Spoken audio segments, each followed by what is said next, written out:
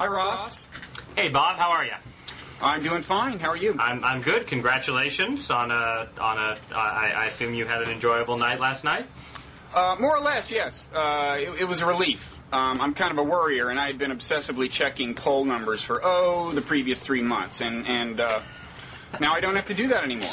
Yeah, Uh, and my condolences to you. I- I'm really sorry to hear about the fortunes of your party. I'm, I, I accept the uh, condolences. Uh, however, well, I know I, I, you're you're sincere, right? You think America needs two strong, healthy, vibrant political parties. Uh, I do. I'm not sure that we have two at the moment, but uh, but I, I think we we do. Of course, the, the Republican Party will now uh, you know retreat into the wilderness and regroup and seek a path back to power. And one thing I was wondering is whether you know of any books that could serve as a trail guide. Uh, any maybe books published this year that the Republican Party could consult. I think David Frum wrote a pretty good book, uh, "Comeback: A Conservatism That Can Win Again." Um, Gracious, gracious of you to say that, but the one I'm thinking of has a picture of an elephant in a hat on the. in what, a- what, what, what's the name of that book? Uh, Bob, it's it's really escaping me at the moment. I doubt it. You doubt that? Um, sorry, my, my Should I say it? Should I say it? You're no, so I'll- no, no. I'll, I'll say it. So yeah. So no. I wait. No, I have the book. I can do the. I can do the great. The same thing Reihan and I did together on Bloggingheads. I will again hold it up to the camera, point out the elephant with with his with his hat on, Yeah. and say, yeah, um, it's it's an amazing blueprint. Um, I've been my, my only worry. Frankly, and you know, this this shouldn't dissuade anyone watching from rushing out to buy the book, but that it was, you know, is that it's an excellent blu- blueprint for the Republican Party circa 2002 and two or so on domestic policy, and that maybe it's been overtaken by events. Um, Ross, I believe the people in marketing at your publisher Are would just- like to have a word No, with you. no, I know they're just stabbing themselves in the in, in, in the eye with, with the long with long knives. No, I'm sure you, you deal in eternal verities, and I'm sure there's lasting significance. So I do want to get, uh, and and I, in fact, I know for a fact that your your prescription is very relevant to the whither of the Republican Party question. Um, so we will get into that. I wanted to step back quickly and ask for your reaction to last night's festivities. What did you think of the two speeches, McCain's and Obama's?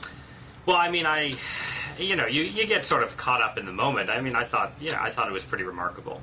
Um, I, I think that McCain gave easily the best speech he's given in the entire campaign, I'd say, and Well, don't you think concession speeches are kind of his natural genre, and they're, they're such a they're such a good vehicle for patriotism and honor? Yeah, and and tragedy in the sense. I think it was possibly the New Republic that did a, a big piece on Mark Salter uh, earlier earlier in the year, and it talked about McCain's concession speech in 2000, um, and just sort of and and then his convention speech, I think in 2000, and how it was sort of shot through with these strains of.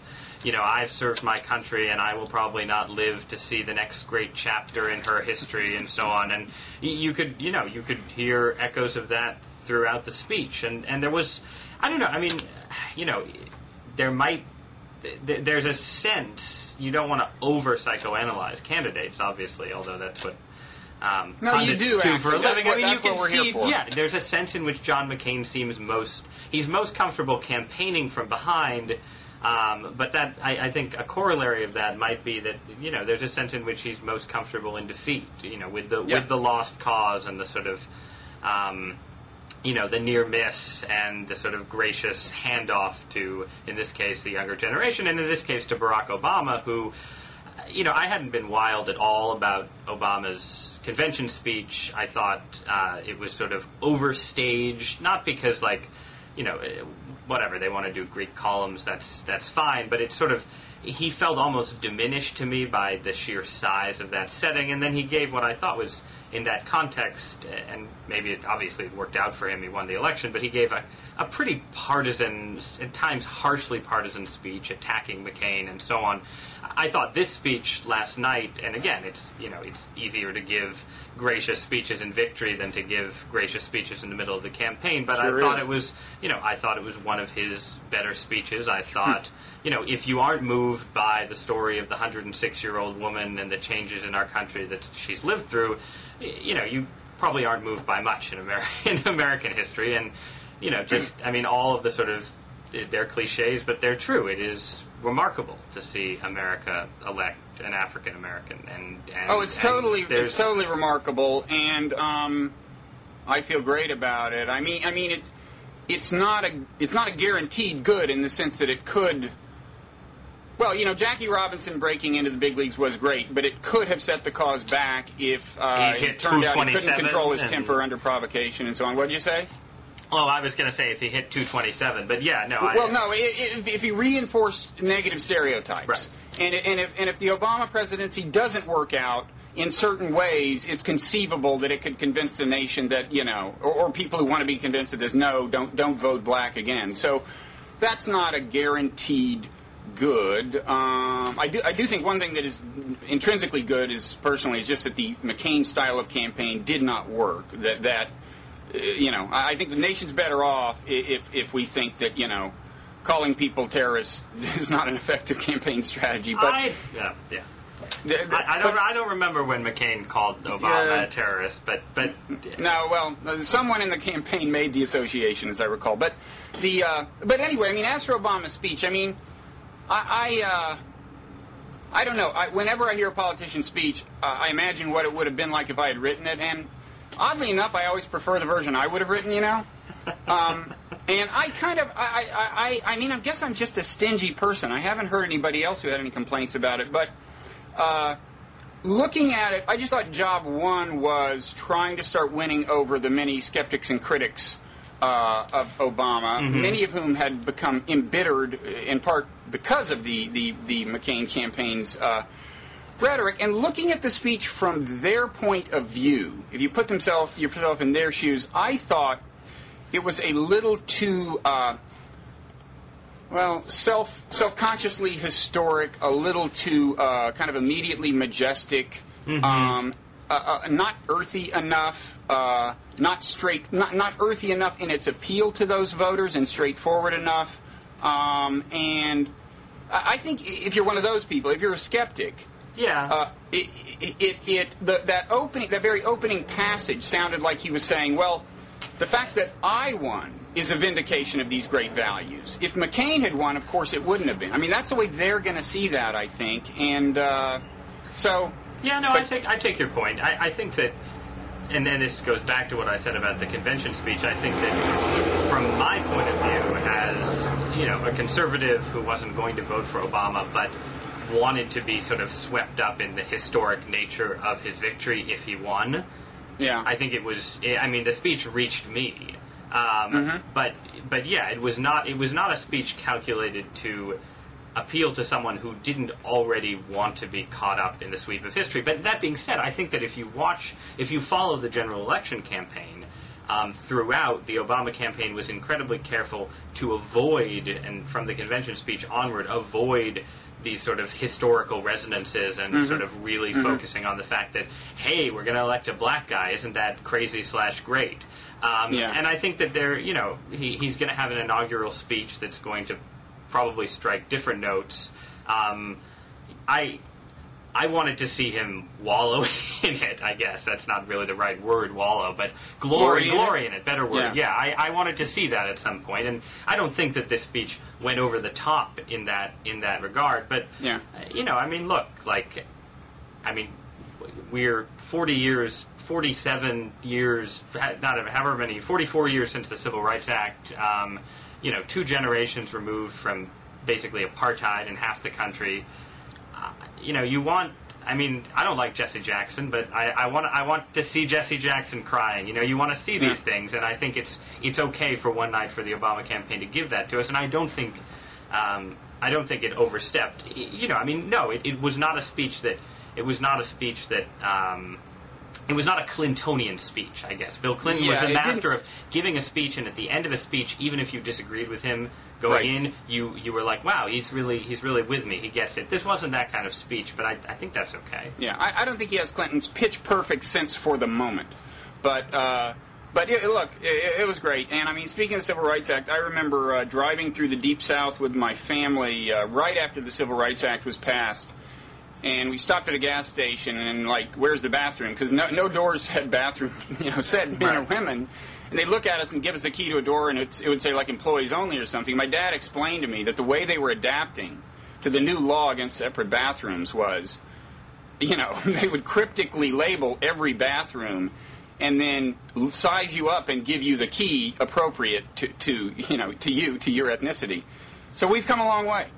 Um, and and and Yeah, it's no, and it's it's remarkable. I mean, I've read I've read a number of bloggers and pundits who I didn't think of as you know I didn't think of them as that old. They aren't that old. Sort of sharing memories. I was just reading Rod Dreher on CrunchyCon talking about you know growing up in Louisiana and you know seeing seeing the recently uh, painted over s- signs in the bathrooms. I mean, it's just it's just not that long ago. Yeah. And you know, hey, uh, you know, it sticks it to the Europeans. I mean, Yeah. as a, as a, as a red-blooded conservative, I can definitely feel good about that. yeah. Let's see you handle your ethnic problems. That's right. Damn it. Let's see. I don't see any black prime ministers floating around Western Europe right now. Nope, not a one. So, so there we go. So that's good. Okay, so um, it's all good. Now, uh, before we talk about the Republican Party, I was wondering, you know, uh, my friends John Judis and Ruy Teixeira wrote this book uh, a few years ago, The Emerging Democratic Majority, and they predicted, well, an emerging Democratic majority. They may have predicted it showing up a little earlier than now, but I'm not that familiar with their argument, uh, and I assume you are, and I'm wondering, have they been vindicated? Because uh, the standard read on this election is that, is that it has more to do with kind of transient things, you know, the economy, Bush. Uh, they had a, a more fundamental demographic argument, right? Right. I mean, their their argument was basically that if you start with the George McGovern coalition in 1972, which at that point was a terrible coalition on which to run for president, a coalition of upper middle class white liberals and minorities, basically. Um, if you start with that coalition and just follow it down through the last thir- now 35, 36 years of American history, the coalition gets bigger and bigger and bigger until it reaches a point where Democrats can win a real and significant majority just based on you know winning winning the African American vote overwhelmingly, winning the Hispanic vote handily, um, winning over upper middle class professionals especially and they made an interesting distinction between the transition in the upper middle class from managerial professions to uh, managerial jobs to professional jobs. And you know if you're sort of in middle management you're going to be a republican but if you're a lawyer for instance or a doctor or a teacher increasingly you're likely to be a democrat. Um, and you know i mean it dovetails with arguments that other people have made, from David Brooks's, you know, Bobos in Paradise to Richard Florida's Rise of the Creative Class.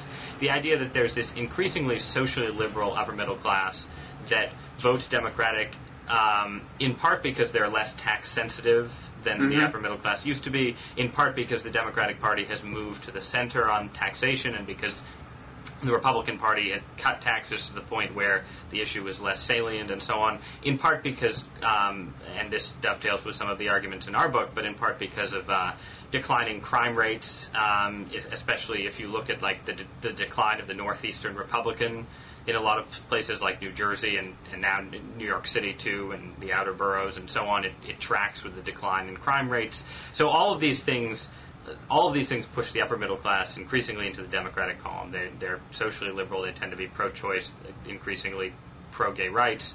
Um, and then the white, this leaves the Republican Party with as the party of the white middle class and white working class, which is a declining share of the electorate year by year, year by year.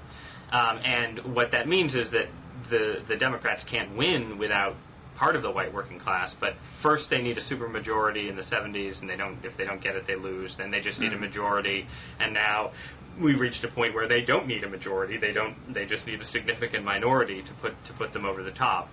So, so that's that's the that's the sketch. Now, um, one of the interesting things, you know, that well, interesting one way to put it. One of one of the interesting debates is over the role of 9/11 in all of this, because Judis and Teixeira, I think, and they can come on and correct me if I'm wrong, would say that basically what happened is their thesis was correct, and then it was delayed by hmm. 9/11 because hmm. 9/11 dramatically heightened Mm-hmm. all demographic groups' sympathies for, for the Republican coalition. You know, you had, I mean, in 2004, George Bush did better in New Jersey, for instance, than he than any Republican had done in a while, and that mm-hmm. was that he, he didn't win it, but that was a symptom of a larger national security related turn that proved to be temporary.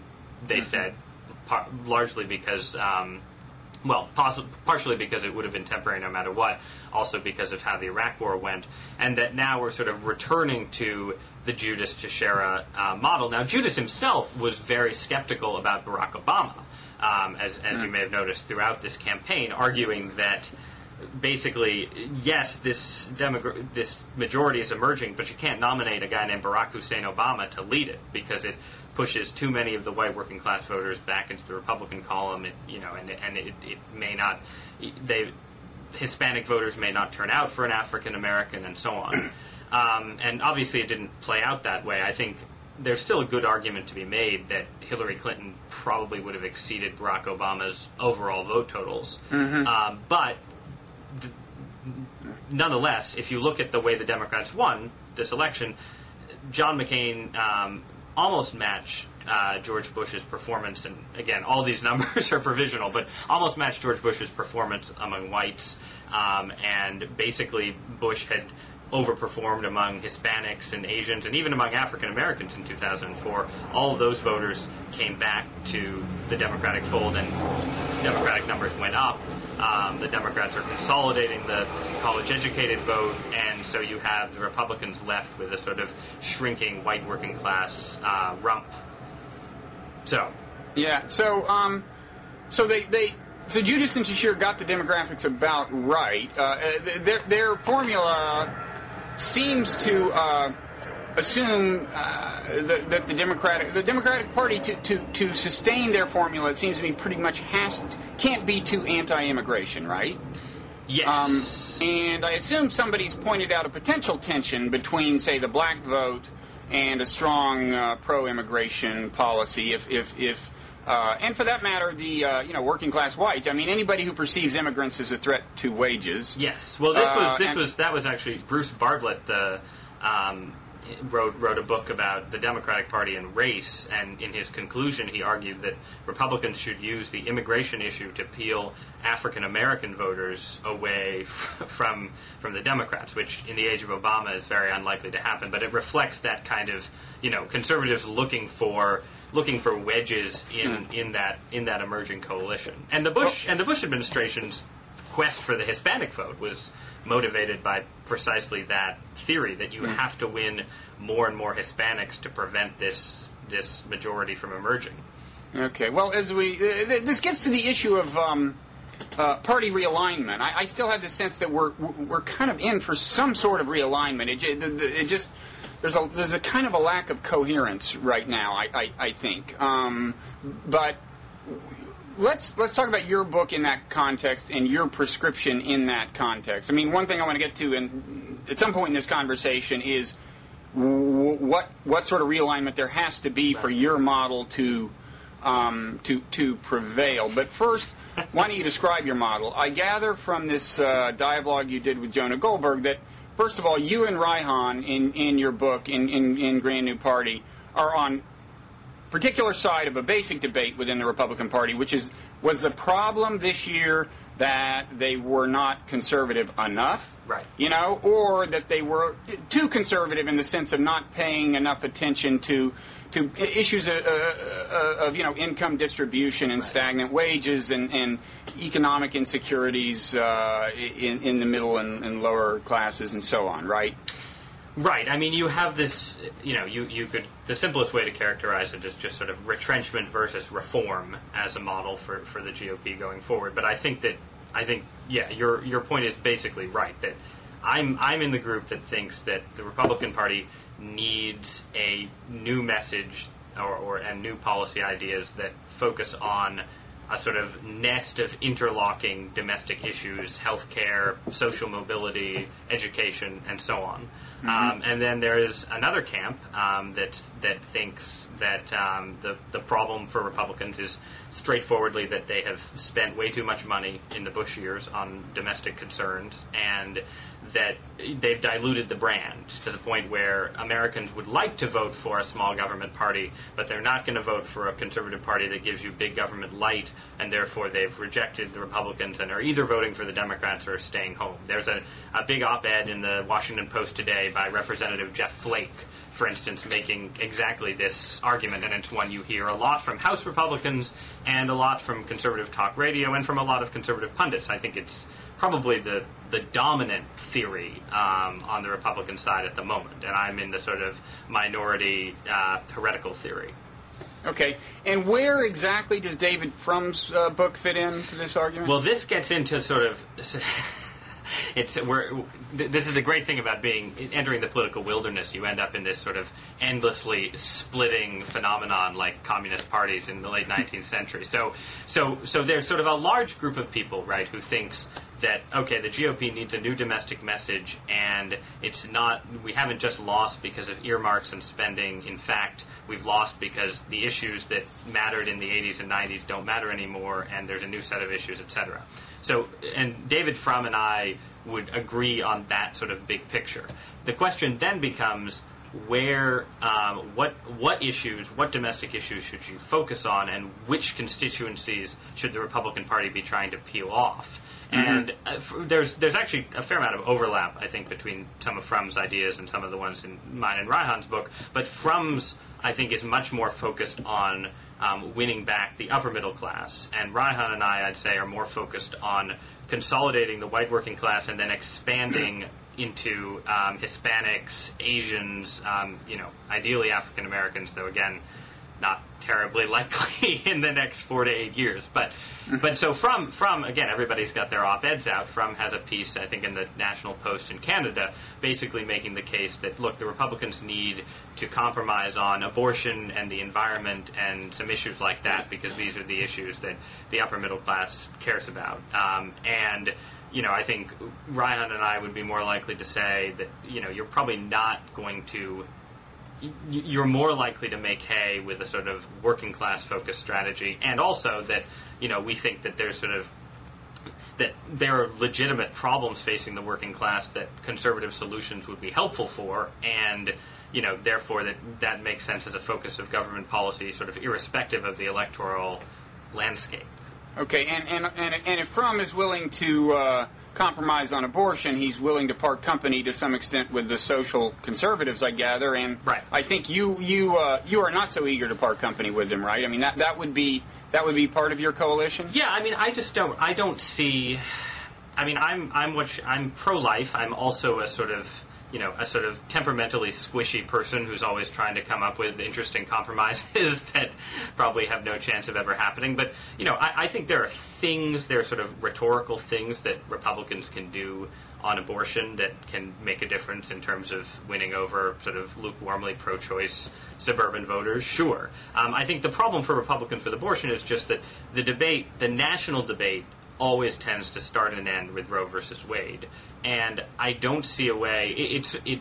It's just an it's just an either or situation. If Roe weren't on the books, if you actually had sort of normal political debate about abortion, then I think that you know you'd have sort of strict pro-lifers, and then you'd have sort of squishy, you know, compromise seeking pro-lifers like myself, and then you'd have squishy compromise seeking pro-choicers, and you the party could sort of move within that range. And you know, are you supporting a ban in the first trimester? Or are you supporting only a ban in the second trimester, and so on?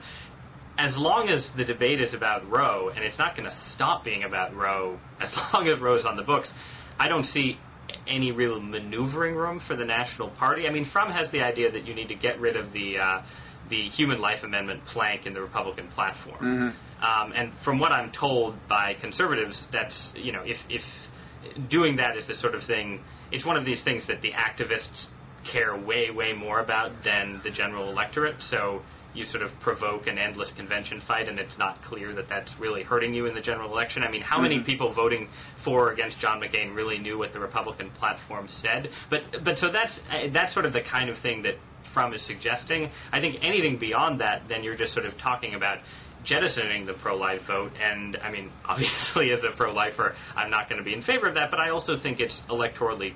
You're not going to have a conservative party in America that isn't more on the pro-life than on the pro-choice side, because America's the percentage of Americans that's pro-life has remained roughly constant and maybe even inched up over the past. What is years. what is that percentage? Oh well, you know, it depends how you define it, but I'd say anywhere from 25 to 35 percent, I think, mm-hmm. would fall into a pro-life category, and then you've got probably 40 to 45 percent that's pro-choice, and another chunk in the middle. The question is, you know, the middle sort of can expand or contract, um, but the constituency for, you know, the constituency for well, it's one of these again. I'm talking too much, but one of these endlessly complicated things where the constituency for Roe is very large. The constituency for what Roe actually says is much smaller, and so pro-lifers sort of go back and forth on on what you know how many Americans are actually pro-life. But even if you define it incredibly narrowly as Americans um, straightforwardly opposed to Roe,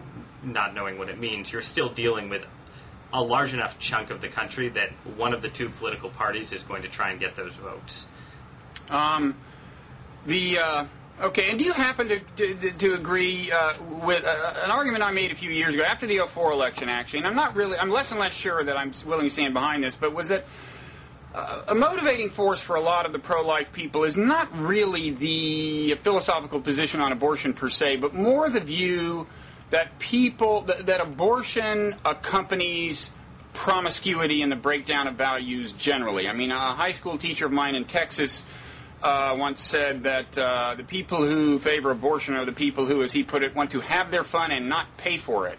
Kind of a grim view of what parenthood is, but anyway, um, the the. Uh, does that make sense to you? That that that, that really, if, if well, well, my large argument was if if liberals could convey that look, liberal parents, many of them are concerned about the values that prevail in high schools in terms of you know sexual promiscuity.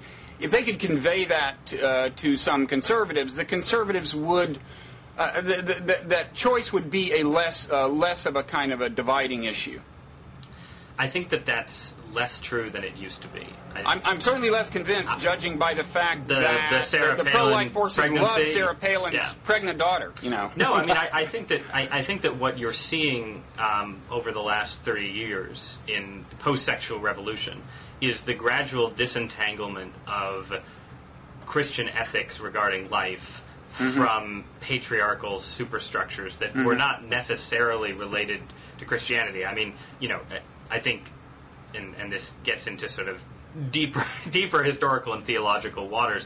But I think that Christianity um, in Western society and in all societies really has tended to be more patriarchal than the precepts of Christianity require, just because most societies tend to be patriarchal historically. Mm-hmm. Um, and so you had a, you, you've had sort of, I mean, you see this in the debate over over virginity too, and, um, and and sex before marriage, where you have sort of you know the idea of people restoring their virginity, right, born again virgins, which is I think a similar case where it's sort of a sort of patriarchal idea where you know you have sort of this I well all right, that's, that's okay. sort of. Let's, okay. uh, let, let, me let me trail off trail off. Okay, on, well, well on that me, one, let... but no, but I, I think to, to, to, the bigger point, I think that as if if you you know in 1977, I think mm-hmm. the phenomenon you're describing would would be much more powerful. Like opposition to abortion as you know, well, you know, those girls who can't keep their legs closed, they yeah. deserve what they get. Yeah. I think that that has declined precipitously, dramatically, and you know because more parents have grown up in an atmosphere of sexual promiscuity and take that for granted. Take, and take that for granted, and also because you know the the pro life movement has become. Uh, you know, initially there was no pro-life movement in America, right? In 1968, mm-hmm. nobody had any sort of conception of um, the idea that this would be an organizing, an organizing, galvanizing political because mm-hmm. As it becomes an organizing and galvanizing cause, the people who are drawn to it are not people who are drawn to it for secondary reasons. They're drawn to it for primary reasons. Um, and I think, you know, so so I, I think I think that balance that balance has shifted. Now, I think that there is and remains a sort of conservative case against abortion that's sort of independent over this debate over the moral status of the fetus, and, and mm-hmm. a debate that an argument that says, look, you know, the the correlation of the um, relaxed abortion laws have an impact on sexual behavior, and it's not a coincidence that the that Roe versus Wade happened during and coincided with a long uptick in the rate of teen pregnancies because you know lots of people it affects sexual behavior even when people aren't deciding to actually have the abortion. But that okay. I think that argument, um, though I think it has some truth to it, is less important as a motivating factor for the pro-life cause. Now, I mean, I, I think that you know there is most most serious committed pro-lifers in America are you know they're in it for the fetuses. Yeah. Um, okay, so on um, well, family values more broadly, I guess you might say. It, it I gather part of the argument uh, that you and Reihan make in in the book is that uh, you know w- whether whether or not promiscuity per se is a real uh, motivating force in the way that it used to be, the um, the sense of breakdown of families per se, uh, uh, or you know the, the, uh, the, lack of stability of families, the divorce rate, whatever, uh, still is, is, something that should be addressed. And in your Republican Party, I think, as I understand it, would be addressed uh, via kind of economic policies, right? Right, and whether whether those policies would actually work is a completely completely open question, and it's something that you know there's some there's experimentation along these lines going on in Britain. David Cameron's Tories have proposed some ideas similar to what Reihan and I have proposed. I mean, their ideas. The, the trouble is there's very little evidence that sort of straightforward marriage promotion programs really have that much much impact. And the Bush administration put a little bit of money into some of these programs, and I don't, I, I shouldn't paint with too broad a brush. Some of them may be, some of them may be successful, but mm-hmm. um, but there's there are just limits to what government can do directly. So then you're sort of left with, well, what can government do indirectly? in terms of how the tax code is structured, how the healthcare system is structured, and so on, to relieve the kind of economic strains that you know create a sort of cycles of family breakdown, basically that you know create that provide the impetus for divorce, and children of divorced parents are more likely to have kids out of wedlock themselves, and and mm-hmm. so on and so forth. But all of the things we're proposing are you know, they're all about sort of sharpening the incentives, basically, to get married, stay married, and so on. You know, so we we talk about you know family family friendly tax reform, where National Review's Ramesh Ponnuru is promoting ideas for um, you know a much larger per child tax credit. Um, so essentially, in, in conservative terms, um, it's sort of taking the conservative argument in favor of low low taxes on investment and applying it to it to investment in children, and basically arguing that you know if if we think of people investing in business as investing in the future of the country, we should think about people investing in raising a child as doing the same. Um, but then that carries through to sort of issues. I mean, issues ranging from the seemingly kind of small bore, like the fact that America's transportation infrastructure is not has not coped with the growth in America's population, and you have enormous, enormous commuting times now in a way you didn't have 25 years ago. And you don't think of that as an issue that affects American families, but in fact it does. It you know it places a sort of daily small bore but heavy strain on the fabric of family life.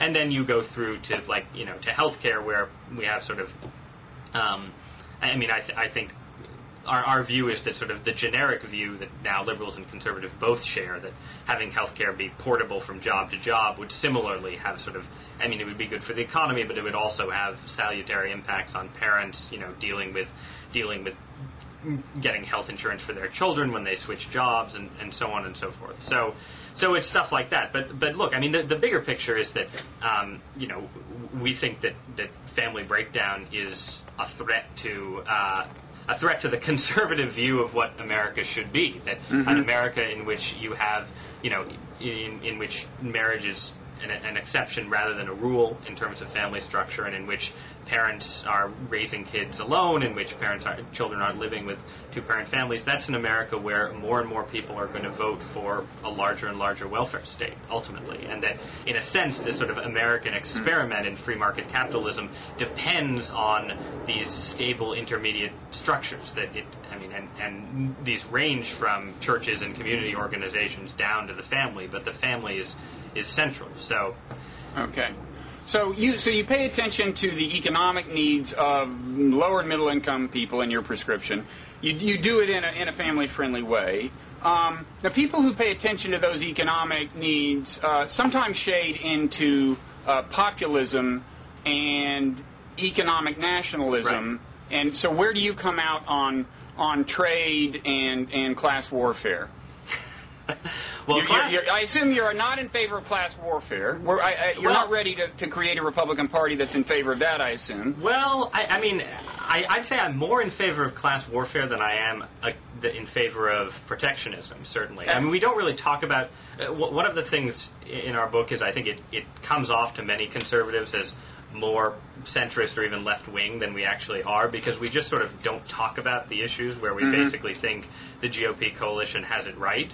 Um, and trade is one is one of those issues. I mean, I think part of what we're talk, part of what we're arguing for in the book is a sort of a smart populism that tries to, you know, actually have a, a smart populism that has policies that that produce ultimately greater support for free trade in the long run. And we we make the argument that is borne out, I think, in a lot of recent studies that you know if if, if you look at working class Americans in general, and obviously this isn't true for specific industries, but in general, um, the benefits of free trade, even if it just means sort of the low prices at Walmart in terms of buying household essentials, have been one of the few really good things that have been happening to the working class in the American economy over the last 20 years.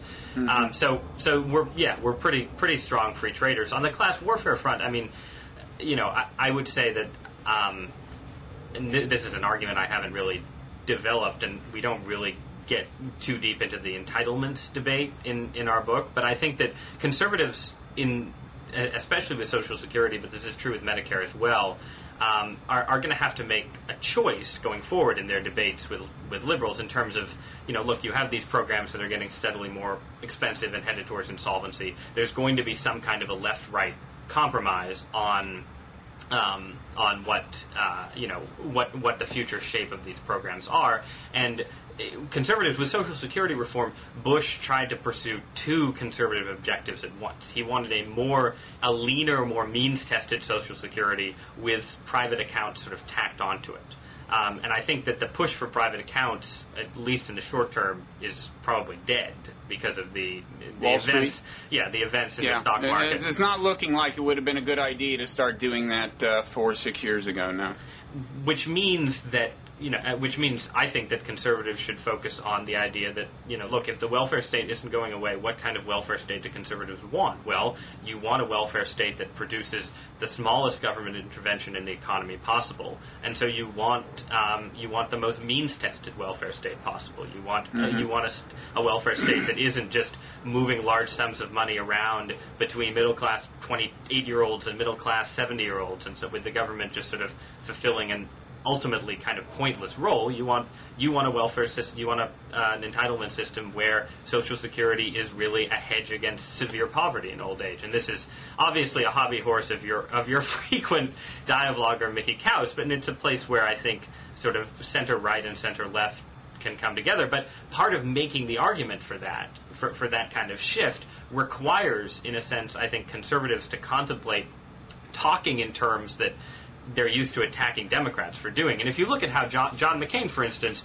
uh, made some gestures in the sort of means testing and Medicare direction in this campaign, and sure enough, he framed it by saying, "I don't think you know Warren Buffett needs these large Medicare payments," and I think that that's something conservatives, if they want to, if they want to make progress in a conservative direction on this front, are going to have to become more comfortable with saying.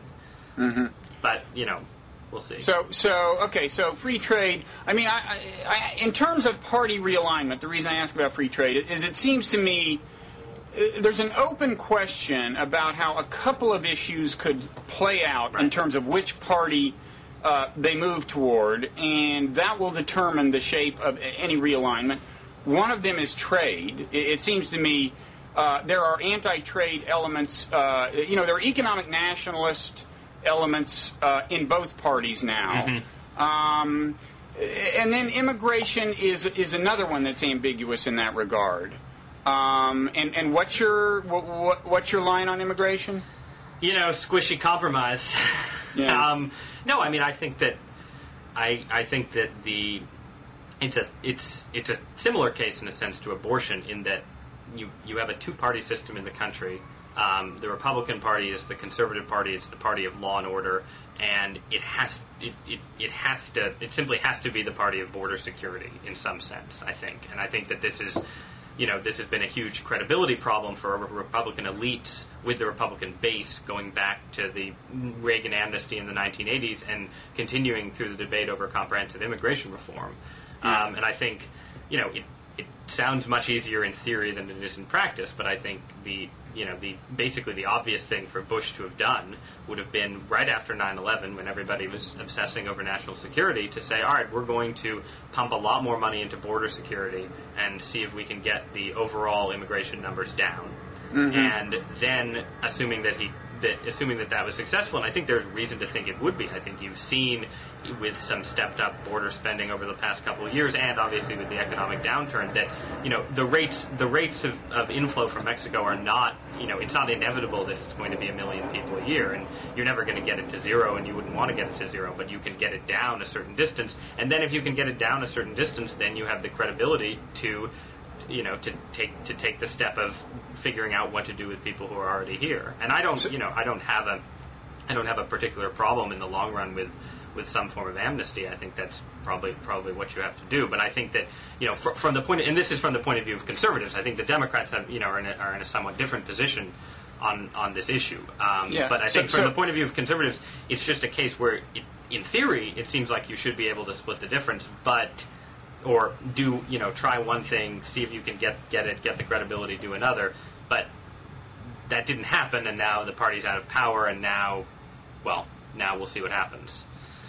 Yeah. Okay. So on immigration, it, it sounds like you, you would do something that might that the the business uh, the business class might find at least mildly annoying. I mean, on the one hand, you're not you're not Yeah. embracing Buchananite aversion to foreign you know influence. Uh, that part of the conservative uh, spectrum.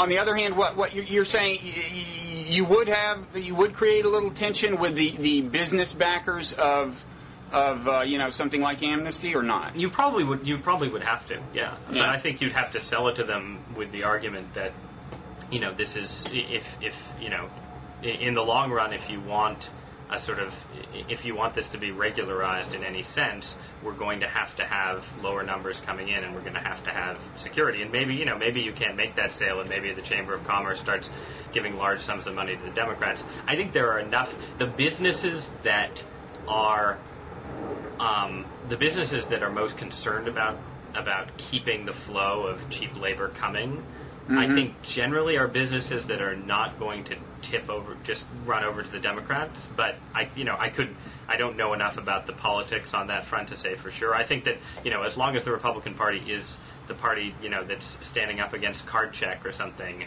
you know, they can afford to sort of do a little more to, to, to tick off businesses. But I'm I'm definitely not sure about that. Okay, so But then the Democrats, I think, are you know the, the, the Democrats are in a different position. I mean, the Democrats are in a position where demographically the party stands to gain enormously from from uh, high from high immigration rates in a way that the Republicans don't, and I think Right. that that changes the, the the calculus, and I think you see that with in a sense with where organized labor has moved on the issue, where you'd think that organized labor would would want to reduce the inflow because you know they're sticking up for people who are already here, who already have jobs, and so on, and don't want to drive down wages. But in fact, that isn't exactly where the labor unions have gone. They've sort of seen this as an opportunity to sort of that it dovetails with their push for a broader reunionization of America. So, in your model, uh, it sounds like there's not quite room in your Republican Party for what you might call um, hardcore economic and cultural nationalists. And there I just mean basically Buchananites. So, it's not your brand of populism doesn't appeal to them, right? Well, I mean, it de- it depends. I mean, it doesn't check all their boxes, no. But on the other hand, I mean, it, let's say let's say you're a hardcore, you know, you're a hardcore Buchananite, Buchananite, um, Buchananite populist. One, I think you might, well, if you think that you can get like massive restrictions on trade and a huge wall and nothing else on the Mexican border, then no, you have no reason to support our Republican Party. But probably neither if- party is actually neither party is actually going to offer that, Right. um, especially since you know the the elites in the United States, as the Buchananite nationalists know well, are extremely hostile to Buchananite nationalism. Right. So if you're if you're going if you're going to those people and you're saying, look, you know, the Democrats are never going to do border security, we're going to do border security, and you know. Sh- we're, we're not we're not going to go protectionist, but here are some other ideas for how you know the the low wage American worker might might have a better time under our conservative administration. I think you know, I think there's there's a sale there's a sale to be made there. Maybe, Yeah. maybe not. You know, I mean, well, I guess the, the counter argument would be that it, it sounds a lot like something that could plausibly emerge in the Democratic Party. So, uh, h- how many people would it really sway? I mean, that combination. In other words, something compromise-ish on immigration. I, I guess you're saying no. The, the, the Democrats are always going to open open the gates a little a little wider on the border. I Uh, th- I think so. Yeah. I on mean- trade, it sounds like they might not be very different from where you are, especially now that there are more and more uh, affluent people, I guess, in the Democratic constituency. I mean, Democrats increasingly have Wall Street and Silicon Valley, um, so they're not they're not going to be uh, to your left on trade. Maybe, although uh, argue, uh, arguing against myself a little bit, I think one thing you have seen on trade in the past four or six years is the beginnings of upper middle class anxiety about outsourcing, um, Mhm, out- true. outsourcing of professional services, especially. Yeah. And I think that that that has driven, you know, obviously. Um, unions and other groups are driving a lot of the uh, Democratic primary support for, for renegotiating trade deals and so on. Mm-hmm. But I think that anxiety about free trade in the upper middle class is also pushing it, and you can imagine that.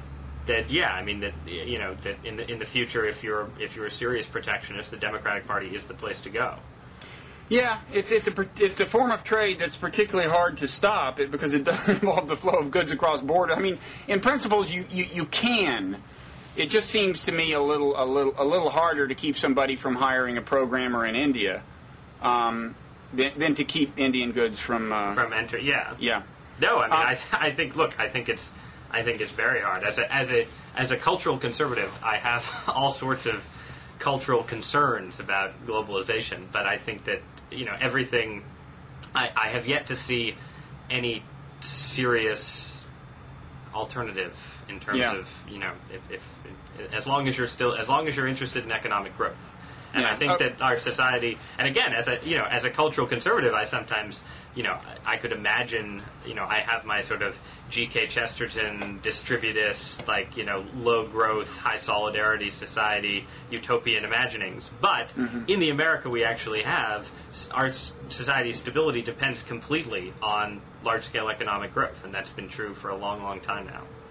So, in your model, neither party really winds up hardcore uh, nationalist, probably. Um, uh, the other big issue that that could swing from party to party is kind of foreign policy. I mean, in principle. Uh, the you have hawks in both parties, and sometimes what's the difference between a humanitarian interventionist and a neocon, and so on.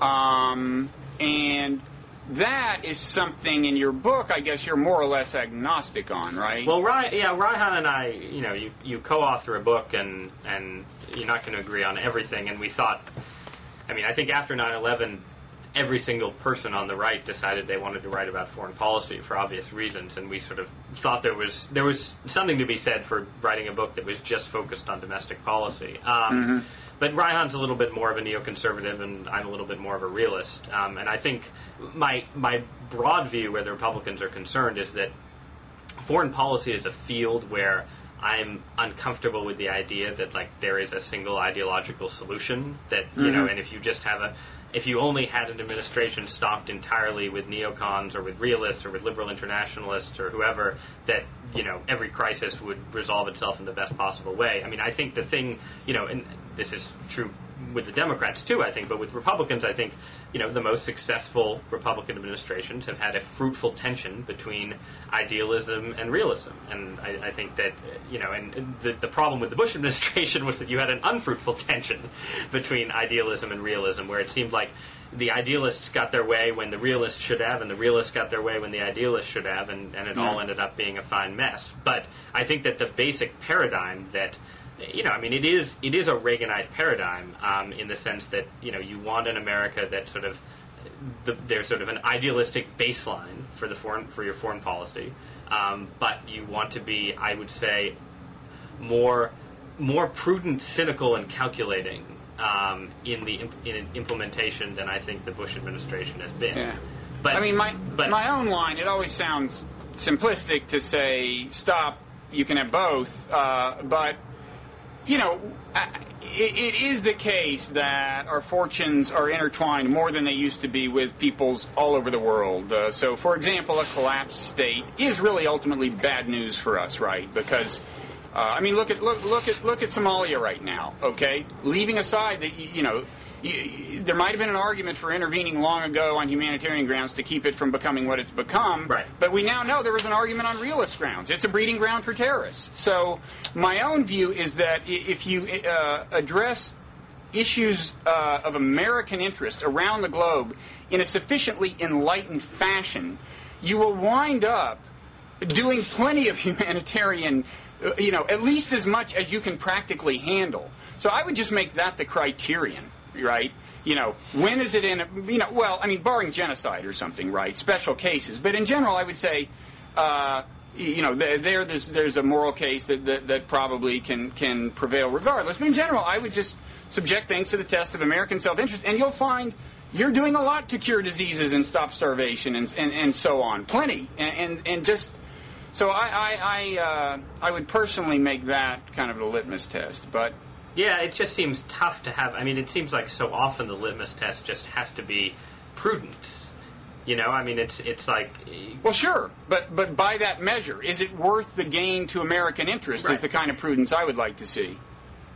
Yeah, the, no, no, no. I, I, I agree. I mean, I, I think that I'm, you know, in my sort of realism, I'm, I'm pretty comfortable with well, I, I, guess I mean one, one of the things, and I was saying this to, to, to, Jonah last time. I mean, I think sort of the biggest thing I've taken away from from the Iraq War is just that you know you you you want to be careful about going all in.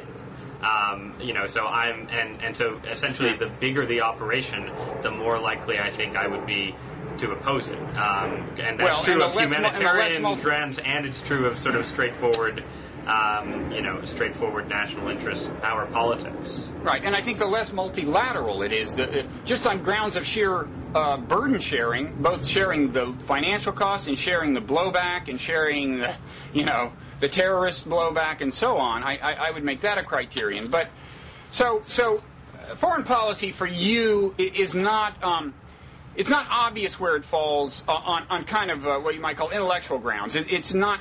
It's not Right. I mean, I mean, the, the domestic coalition you want to build, you yourself have a preference for realism. Uh, well, relative to the you of eight years ago, at yeah. least.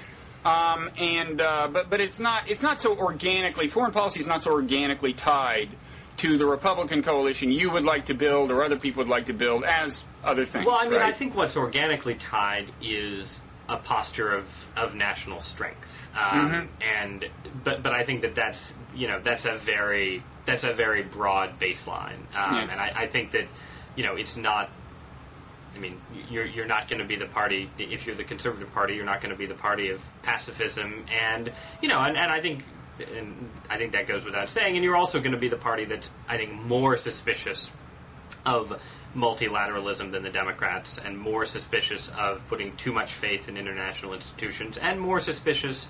I mean, I think you know, and again, this doesn't really come into our book that much, but I mean, my my I have a personal bias against transnational institutions, just on you know on on on well on, on a variety of grounds. But but I think that you know the the Republican Party going forward is going to have to remain. It's going to be the party of um, some form of stronger nationalism than the Democrats express. Okay, I've got a book I want you to read. I'll I'll, um, I'll send it to you. Okay, sounds good. I can get free copies. Um, the uh, the blogging head's empire is, as far as I can tell, all powerful. Uh, well, when you wrote the book, it's easy to get free copies. Ah, yeah. uh, um, the the uh, on transnational institutions, um, I, am I'm, I'm more favorably inclined than you are. Okay, so who, um, what particular people uh, uh, uh, uh, what, what candidate is a good vehicle for the reconstituted Republican Party you would like to see? One person who's obviously going to be trying to gather a coalition around her is Sarah Palin. Yes, uh, yes, Sarah Palin. Does she work for you? Well, you know, I mean, I was I was a big Sarah Palin fan when she was governor. Until she opened her until she opened her mouth. Well, the Katie Couric interview was uh, not not not the finest hour for an American politician. I mean, I think the thing with Sarah Palin is, I let's ask ask me again in six months. I think we'll know a lot more about Sarah Palin, um, for good or ill, um, once she's no longer part of the McCain campaign. So she hasn't really had to declare, as governor, she didn't have to declare on enough issues for you for it to be clear. Well, to on you. governor, as governor, I mean, Alaska is such a bizarre state. She didn't really declare on any issues of, Mm-hmm. of, of national significance. But I think the way she, the way she governed, broadly speaking, um, Mm-hmm. governing from sort of a kind of radical center kind of position, um, and sort of taking the Alaska. I mean, she, you know, she was not. I mean, she was she was running against corruption and so on. Running, I mean, she she wasn't the killer of earmarks that the McCain campaign made her out to be, but she was a killer of earmarks by the standards of of uh, Alaska politics. But she but she was also someone who you know was willing to stick it to the oil companies in in, Yeah. in renegotiations in a way that I think. Um, a lot of conservatives would be uncomfortable with. Basically, she what what she displayed as governor was a real pragmatic streak Yeah. with no particular it wasn't pragmatism necessarily in the direction I'd like the GOP to go, but it was pragmatism that you know demonstrated the potential that I think Republican politicians at this moment need. Now, as a candidate for vice president, um, she did something else. She sort of became um, she became the base rallying figure that the McCain campaign decided she should be. I mean, we, we just don't. We, we just really don't you know don't know enough. whether she's intrinsically a cancer on the Republican Party, as David Brooks put it. You don't, you don't know whether she's intrinsically so kind of anti-elite, uh, anti-elite is to seem anti-intellectual or whatever. Yeah, I don't think we know anything really on on that score. I mean, I think the McCain, you know, to what extent was she responsible for her own speeches and the things she said? You know, who knows? To what extent? Also, I mean, I think what what Brooks was talking about there. Almost, and I don't want to put words in his mouth, but had less to do with Palin herself than to the reaction to her among conservative pundits who the people who are unwilling to acknowledge Right. how bad her interview had been or un, unwilling Right, right. Yeah, it's funny because when he said he, he depicted her as anti-ideas, and I had not gotten that from her in an explicit way. Right. Yeah, no, I don't. I don't think so. I mean, I think that she. I, I think what he. I think it's more that in you know in defending in defending her qualifications for the presidency after um, you know a pretty poor showing on her part over a couple week long stretch, a lot of conservative writers indulged in serious anti-intellectualism of their own. I mean, uh Palin was just such she was just such a Rorschach test, and and this was true on the left as well as the right. Um, and you know, I mean, my, my suspicion is that my, my suspicion is that if she pursues a career in national politics, it will be as you know as the role that she played on the campaign trail because that's where her strongest supporters are. Mm-hmm. And you know, I think if Sarah Palin wanted to be president of the United States, the smartest thing for her to do, well, there are like you know, 16 different things she should do, but in terms of seeking out political advice, she should go for political advice to a lot of the people who said negative things about her performance on the campaign trail. I don't think that's usually how it works with politicians, though. Mm-hmm. So I don't think that that's that likely to happen. And I think if there were a Palin 2012 or 2016 campaign run, it would be more or less, it would be a more straightforward sort of, you know, reunite the talk radio right and the evangelical right, which sort of split between Romney and Huckabee in this. Now, is that an easy campaign. thing to? Now, tell me what that means. I mean, Ru- Rush Limbaugh is what more more economically libertarian Yeah. than the evangelicals generally, and so there's generally a split there. Well, I don't think there's generally a split there. I think, I, you know, I think that there ha- there's the potential for a split there. There hasn't been in the past because, uh, you know, I, I think even you know evangelicals statistically tend to be more small government oriented than than the average American Christian, and so there's sort of there, Well, why has Limbaugh why has Limbaugh not been appealing to them, or vice versa? Well, what happened in this campaign was that um, Huckabee, for sort of straightforward identity politics reasons, became the candidate of evangelicals, um, and Huckabee was, you know, more of an economic populist.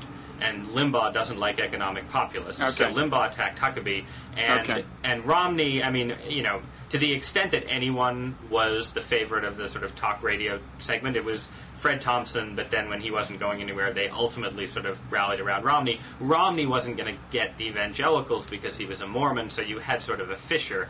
Palin, though, as an evangelical and as someone who talk radio rallied around, um, I think you know has has the potential to sort of knit knit that divide back up.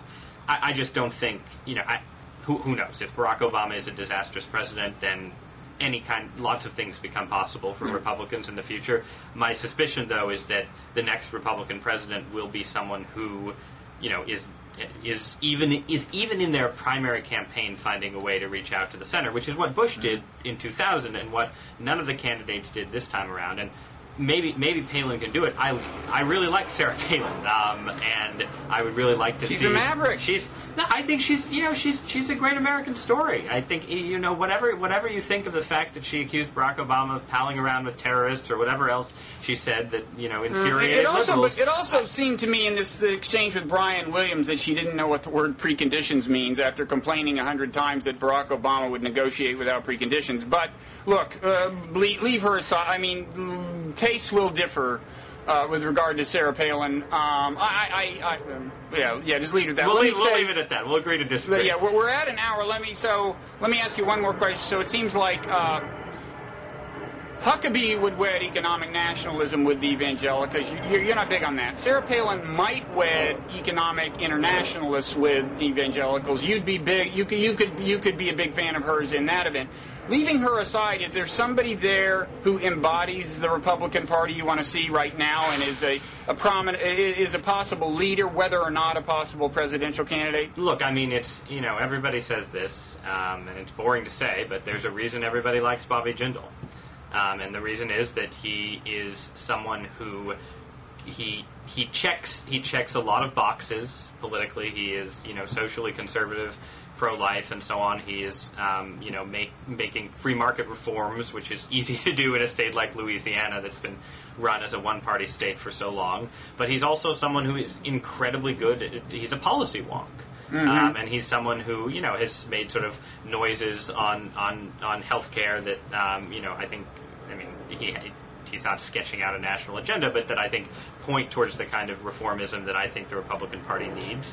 Um, and you know, it doesn't hurt that he's that he's an Indian American, and that you know, if you look at the Republican Party right now, it has a real problem with non-white Americans, and it looks like a party of, of you know boring old white guys. Um, so Yeah, I'm not sure it's having a, pro- problem with, with Indian Americans. That's an no, they did. I well, did? Asians. I, I don't know how they break it out, but my quick look at the. Well, I think there's a difference. But I mean, but I mean, it, I, there's there's a difference, but I'm not sure there's a difference in the uh, in the exit polls that I was Right, looking right. at. And uh, but but um, but yeah, so you know, I mean, I think that I think that you could see Jindal running the kind of campaign I think a Republican candidate would need to win, and he's done a good job of sort of staying in the you know being in the good graces of the sort of more doctrinaire.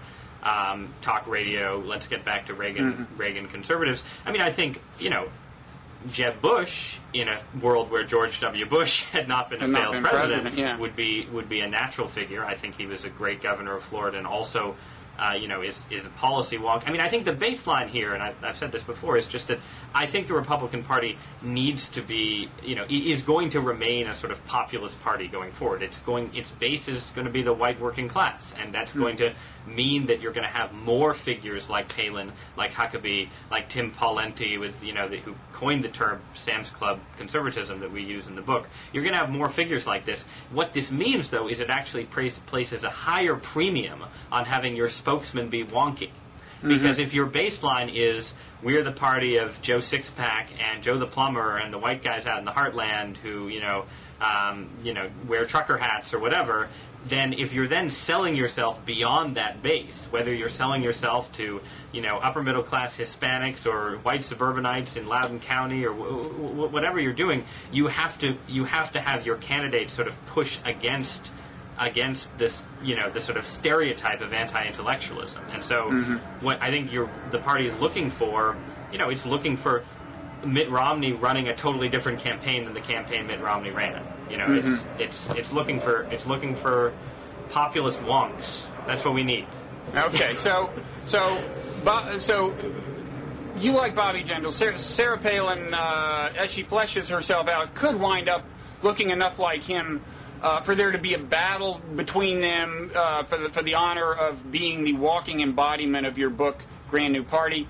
Uh, and I wish, them, nice. I wish them both luck, and I wish you luck. Uh, it's a good opportunity. You know, you've got a good few weeks to get out and talk about your book, I would think, and uh, yeah, and, and, and, and you deserve it. Well, I well I appreciate it, and I appreciate you taking the time to uh, yeah. To, to, I, to, I always learn a lot when I talk to you. Well, Um, so thanks. Thanks, Bob. Great talking okay. to you. Okay. See you, Ross. See ya.